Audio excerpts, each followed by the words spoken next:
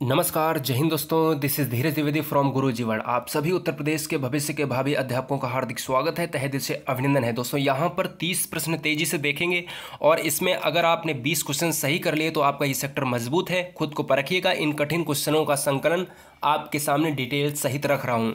चलते हैं स्टार्ट करते हैं। अगर आप अपने समय को बेहतर बनाना चाहते हैं आगे आने वाले समय में तो आप आज मेहनत कर लेंगे, जिससे आगे आने वाला समय बेहतर हो जाएगा। हम चाहते हैं आपकी सरकारी विद्यालय में एक सीट पक्की हो। हमें अच्छा लगेगा। यूपी टेट में बेहतर स्कोर करने के लिए आज ही सब्सक्राइब करें गुरुजी वर्ड एग्ज़ाम स्टडी। सारी प्लेलिस्ट में ट्रिक्स सहित जो यूट्यूब पर नहीं मिलने वाली हैं, कहें, कहीं, पूरा सिलेबस के अनुसार मैंने आपको सारी चीज़ें समझाई हैं। एक बार विज़िट ज़रूर करें। पहला क्वेश्चन देखिएगा, पर्यावरण अध्ययन का, और आप बताएँ लास्ट में कमेंट में कि हमारा तीस क्वेश्चन में कितना सही हुआ है। वनो उन्मूलन के फलस्वरूप निम्नलिखित में से किस वायुमंडलीय गैसीय संघटक के स्तर में वृद्धि होती है? उन्मूलन का मतलब होता है समाप्त हो जाना। तो ऐसा कौन सा कारण है, कौन सी गैस है जो बढ़ेगी अगर वन समाप्त हो जाए वन का कटाव हो जाए तो दोस्तों होता है कार्बन डाइऑक्साइड। क्यों? क्योंकि एक बटे तीन परसेंट जो है, बढ़ती है। जब भी ग्रीन हाउस गैस का जो उत्सर्जन होता है, हरित ग्रह प्रभाव, क्योंकि कारण है कार्बन डाइऑक्साइड, ठीक है? निम्नलिखित में से कौन सा जल प्रसारित रोग नहीं है? जल वाटर जल जनित रोग नहीं है तो हैज़ा भी होता है टाइफाइड भी होता है हिपेटाइटिस भी होता है और ट्यूबरक्लोसिस नहीं होता है, ठीक है? ट्यूबरक्लोसिस का मुख्य कारण होता है माइकोबैक्टीरियम जो जीवाणु होता है, यह जीवाणु होता है, ठीक है ना? याद रखिएगा। तो यहाँ पर यह हो जाएगा चौथा ऑप्शन प्रदूषण द्वारा जल प्रदूषण द्वारा उत्पन्न होने वाले रोगों के युग्म को चयन करिएगा। कैट काई सिंड्रोम एवं मिनिमाता बिल्कुल नहीं। उच्च रक्तचाप यानी हाइपर टेंशन जो है एवं मैरमस बिल्कुल नहीं। सर मैरमस एवं कुसी और कर ये प्रोटीन्स की कमी से होते हैं रोग। जबकि चौथा ऑप्शन हो जाएगा यहाँ पर मिनिमाता एवं फ्लूरोसिस। ठीक है ना? तो याद रखिएगा चौथा ऑप्शन हो जाएगा पार, पारा की अधिकता से होने वाले रोगों को मिनिमाता कहते हैं। सबसे पहले जापान में मछलियों की संख्या जो मर गई थी उनके कारण ये रोग हुआ था। जबकि मैरमस और क्वासी और कर, ये पोषक तत्वों की कमी से होता है। ठीक है? क्लोरोफिल में पाई जाने वाली सबसे बहुत मोस्ट इंपॉर्टेंट क्वेश्चन हमेशा पूछा जाता है। क्लोरोफिल में पाई जाने वाली धातु, मनुष्य के रक्त में आयरन पाया जाता है। वैसे ही पत्तियाँ हरी रहती हैं क्लोरोफिल की वजह से, लेकिन पत्तियों में कौन सा पाया जाता है? क्योंकि मनुष्य का रक्त होता है, उसमें आयरन पाया जाता है। जबकि पेड़ पौधों में भी ऐसी कोई चीज़ है जो पाई जाती है, वो होता है दोस्तों मैग्नीशियम। याद रखना, मनुष्य में लोहा, जबकि पत्तियों में क्लोरोफिल में मैग्नीशियम, ठीक है? किसी परिभाषित भौगोलिक अवस्थिति में ही विशिष्ट उपस्थिति की पारिस्थितिकी अवस्था को कहते हैं। तो दोस्तों, बहुत इंपॉर्टेंट क्वेश्चन है, क्या कहते हैं?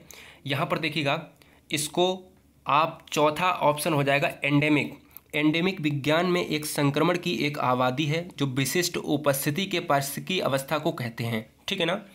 तो यहाँ पर आप याद रखिएगा, अफ्रीका में एड्स एंडेमिक है जिसका अर्थ है कि वहाँ के एक क्षेत्र में पाया जाने वाला। तो याद रखिएगा, यहाँ पर एंडेमिक हो जाएगा। नेक्स्ट है आपका कार्बनिक पदार्थ के अपघटन के समय मृदा में निम्नलिखित में से कौन उत्पादित नहीं होता है? बहुत इंपॉर्टेंट क्वेश्चन है। कह रहा है कि कार्बनिक पदार्थ के अपघटन के समय मृदा में निम्नलिखित में कौन उत्पादित नहीं होता है? जल नहीं होता है कार्बन डाइऑक्साइड या पोषक या ऑक्सीजन तो दोस्तों, यहाँ पर चौथा ऑप्शन हो जाएगा ऑक्सीजन अब कहा क्यों? क्योंकि ऑक्सीजन ये जो है, रंगहीन है, स्वादहीन है तथा गंध रहित गैस है। इसकी खोज किसने करी थी? प्राप्ति तथा अध्ययन जी प्रिस्टिले ने करी थी, याद रखिएगा। और डब्लू सी डब्लू ने करी थी, ठीक है ना? सीले, जिनको सीले कहते हैं। तो यहाँ पर याद रखिएगा, इसकी खोज प्रिस्टिले और सीले ने करी थी। कार्बनिक पदार्थ के अवघटन के समय मृदा में ऑक्सीजन का उत्पादन नहीं होता है। ऑक्सीजन वायुमंडल में स्वतंत्र रूप में मिलती है और आयतन के अनुसार इसका स्थान लगभग पाँचवा है, ठीक है? विश्व पर्यावरण दिवस 2018 की थीम। गजब की है याद रखिएगा इनका जो है प्लास्टिक प्रदूषण को पराजित करना ठीक है? ओजोन के संबंध में सही कथन देखिए ओजोन के बारे में पूरा पूरा डिटेल आपको समझाएगा एक बार प्लेलिस्ट आप देखिएगा और वहाँ से अगर आपने पढ़ा होगा तो बिल्कुल छाट लेंगे। हमारे वायुमंडल में ओजोन का प्रतिशत सात दशमलव आठ परसेंट है क्षोभ मंडल में उपस्थिति उत्तम ओजोन है ओजोन पराबैगनी किरणें अवशोषित कर ऑक्सीजन का निर्माण करती है सही कथन बोला है। तो यार बिल्कुल नॉर्मल सी, सी बात है इसमें कि इसमें क्या हो जाएगा?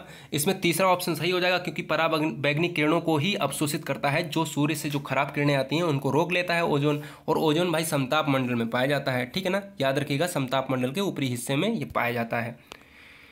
वर्ष उन्नीस के रियो शिखर सम्मेलन का agenda most most important note कर लीजिएगा इसको। एजेंडा ट्वेंटी वन संबंधित है। उन्नीस सौ बानवे का रियो शिखर सम्मेलन, अब उन्नीस सौ बानवे में कहाँ हुआ था? शिखर सम्मेलन ये भी पूछ सकता है तो रियो में हुआ था ब्राज़ील, ठीक है? एजेंडा ट्वेंटी वन कहाँ पर किससे संबंधित है? तो आपको बताना है भाई किससे संबंधित है तो यह है पहला ऑप्शन, संधारणीय विकास से। ना ही ये तीन ऑप्शन क्यों? यहाँ पर याद रखिएगा कि उन्नीस सौ बानवे में संयुक्त राष्ट्र संघ का पर्यावरण एवं विकास के मुद्दे पर केंद्रित सम्मेलन ब्राज़ील के रियो में हुआ था, ठीक है जिन्होंने जिनमें 170 देशों ने भाग लिया था। एजेंडा 21 पारित किया गया और ये बताया गया कि पर्यावरण एवं विकास के मध्य संबंध में मुद्दों को समझा जाए और किसानों को पर्यावरण संबंधी जानकारी दी जाए, यह सम्मेलन सतत विकास से संबंधित था। तो आप याद समझ रखिएगा, ये पर्यावरण से और विकास से रिलेटेड था तो यहाँ पर विकास हो जाएगा, ठीक है ना? निम्नलिखित में कौन सा एक अधिक पौष्टिक स्तर का सदस्य है? मैंने सारी क्वेश्चंस आपको बताए हैं, खाद्य श्रृंखला में विभिन्न पौष्टिक स्तर, ठीक है ना? ऊर्जा। तो यहाँ पर याद रखिएगा कि जो चौथा ऑप्शन है, वो हो जाएगा पौष्टिक स्तर में मानव सबसे ऊपर रहता है। निम्नलिखित में कौन सा एक ग्रीन गुड डीड नहीं है? अब ग्रीन गुड डीड नहीं है, यानी यहाँ पर जो है, क्या हो जाएगा? पर्यावरण संरक्षण को जन आंदोलन के स्वरूप प्रदान करने के प्रयासों में। तो आपको जो है, याद रखिएगा, एक ऐप लॉन्च करा गया था, जिसे ग्रीन गुड डीड अभियान कहा गया, जो 2018 में करा गया था। ये जो है कचरे से रिलेटेड था तो दो ऑप्शन जो है, दूसरा ऑप्शन इसका सही हो जाएगा, जिसको कचरे को जला दिया जाना, ठीक है ना?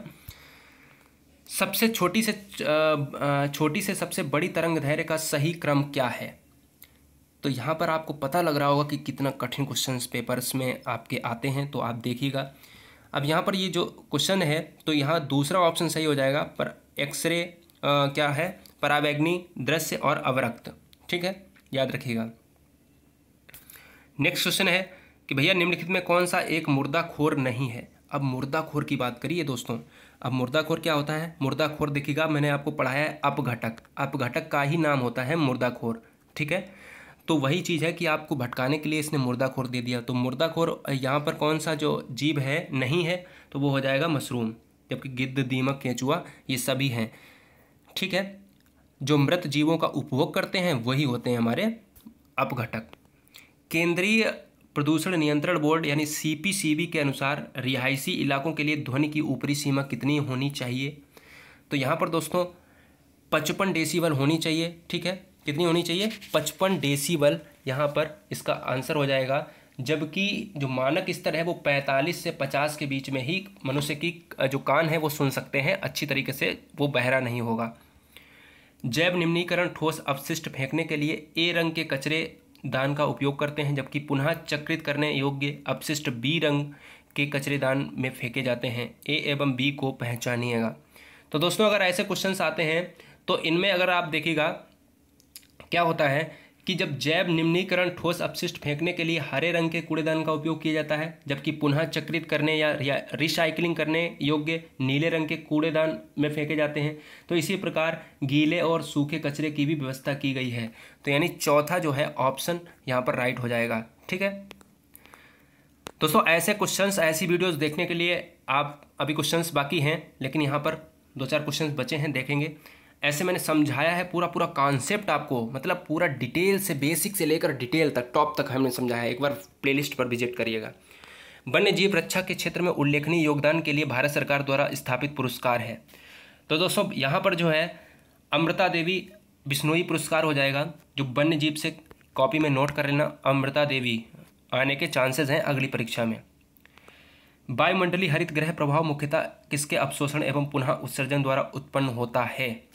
तो दोस्तों नॉर्मल सी बात है कि यहाँ पर वायुमंडल द्वारा अवरक्त जो विकिरण विकिरण हैं, उनको जो है अवशोषित करने में उत्सर्जन होता है, ठीक ना? नॉर्मल सी बात है। नेक्स्ट है, निम्नलिखित में से कौन भौम जल स्तर को कम नहीं करता है? अब भौम जल स्तर मतलब जो है क्या हुआ? अब आपको ये चीज़ सुनना होगा कि भूमिगत जल स्तर में कमी का कारण, मुख्य कारण क्या है? वर्षा का अपर्याप्त होना। ठीक है? नलकूपों द्वारा भूमिगत जल का दोहन होता है, वनों का विनाश होता है, बर्फबारी द्वारा इसके स्तर में अप्रत्यक्ष रूप से वृद्धि होती है तो ऑप्शन नंबर हो जाएगा दूसरा, यानी बर्फबारी। नेक्स्ट है, भारत का वैश्विक धरोहर स्थल जो एक से अधिक राज्य में अवस्थित है, वो क्या है? तो यहाँ पर नॉर्मल सी बात है, कह रहा है कि एक राज्य में तो है, उसके अधिक, उससे भी अधिक राज्यों में अवस्थित है। तो ये भी नहीं होगा सुंदरबन नेशनल पार्क भी नहीं होगा, काल शिमला भी नहीं होगा, भारत की माउंटेन रेलवे। भारत की माउंटेन रेलवे एक बीहड़ पहाड़ी क्षेत्र के माध्यम से एक प्रभावी रेल लिंक स्थापित करती है दोस्तों। यही एकमात्र कारण है दार्जिलिंग से लेकर नीलगिरी तक और शिमला तक जो है अलग अलग राज्यों में फैली हुई है, ठीक है? बायोमास के अवयवीय किड़वन द्वारा निम्नलिखित में से कौन सी गैस उत्पादित होती है? तो बायोमास से जो है किड़वन की बात कर रहा है तो बायोमास में बायोमास ऑप्शन लगा देंगे। पहला वाला ऑप्शन सही हो जाएगा। यह जो है जैव गैस का एक मिश्रण है। यह सौर ऊर्जा एवं पवन ऊर्जा की तरह ही नवीकरण ऊर्जा का स्रोत है। ये कचरे के द्वारा स्थापित होती है। सीएनजी देखिएगा, यहाँ पर ऑप्शन में मिला था सीएनजी का फुल फॉर्म क्या होता है? कंप्रेस्ड नेचुरल गैस गलत कथन पर विचार कीजिएगा। पावर पेट्रोल का आक्टेन नंबर साधारण पेट्रोल से अधिक होता है, बिल्कुल सही है। कार्बन फुटप्रिंट किसी उत्पादन द्वारा उत्सर्जित हरित ग्रह गैसों की माप है। तो क्या लगता है आपको? ये क्या सही होगा? तो दोस्तों, बिल्कुल सही है। वनीकरण एवं वनो वन रोपण एक ही प्रक्रिया के लिए प्रयुक्त दो शब्द हैं। बिल्कुल सर, ये गलत है। क्यों गलत है कि वनीकरण से तात्पर्य है कि जंगल की पुनर्स्थापना करना, जिसे आग या काटने से कम कर दिया गया था। और यही रोपण का कार्य है कि वनो रोपण का अर्थ है कि वन लगाने या वन से आच्छादित करने की क्रिया। ठीक है ना? तो बिल्कुल अलग चीज़ है तो तीसरा ऑप्शन सही हो जाएगा। जबकि यहाँ पर चौथा ऑप्शन कह रहा था कि वायुमंडल की चार परतों का सही क्रम क्या है नीचे से? क्षोभ मंडल समताप मंडल, मध्य मंडल, आयन मंडल। बिल्कुल सही बात है कि सबसे नीचे क्षोभ मंडल है, फिर समताप है, मध्य है, फिर आयन है। ठीक है ना? तो दोस्तों, यहाँ पर ये आपके लिए बेहतर रहा है और कुछ चार पाँच क्वेश्चंस और बचे हैं, मैं देख लेता हूँ। तीस क्वेश्चन होने वाले हैं। भारतीय वन संशोधन अधिनियम 2017 में मोस्ट मोस्ट इम्पोर्टेंट वृक्षों की सूची में निकाल दिया गया, कौन सा पौधा निकाल दिया गया है 2017 में? तो सरकंडा, गन्ना, खजूर ये सभी हैं, जबकि बाँस नहीं है तो ऑप्शन नंबर फोर हो जाएगा राइट आंसर निम्नलिखित में से एक पारिस्थितिकी तंत्र के जैविक संगठन को चुनिएगा। जैविक, अजैविक बहुत अच्छे से पढ़ाया है। क्लोरोफिल सूर्य प्रकाश ये सभी हैं सभी नहीं हैं, जबकि मृदा यहाँ पर हो जाएगा। अब दोस्तों, आप कहोगे मृदा हो जाएगा। बिल्कुल सर, मृदा नहीं होगा, जबकि यहाँ पर दूसरा ऑप्शन सही हो जाएगा। प्लवक।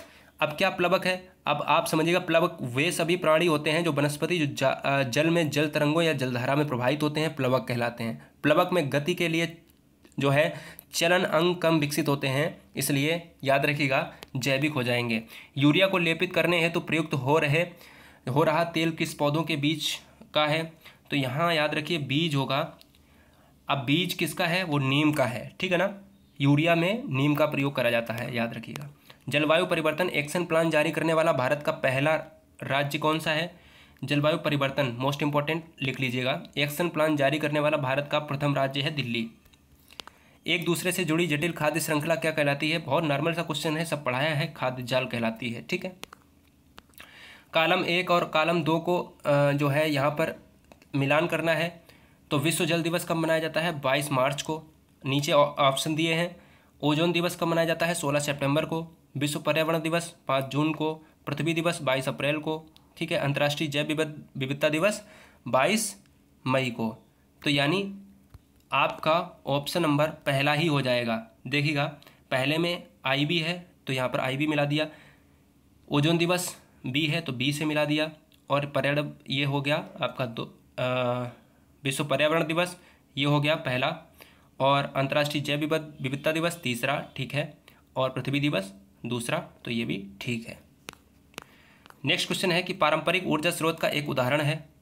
तो यहाँ ज्वारीय ऊर्जा बिल्कुल नहीं भूतापी ऊर्जा बिल्कुल नहीं, सौर ऊर्जा बिल्कुल नहीं, यहाँ पर नाभिकीय ऊर्जा हो जाएगा दोस्तों, ठीक है? नाभिकीय ऊर्जा हो जाएगा।